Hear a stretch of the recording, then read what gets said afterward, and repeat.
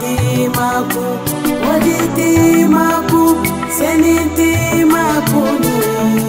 yonke kubatile la ilaha illallah sunna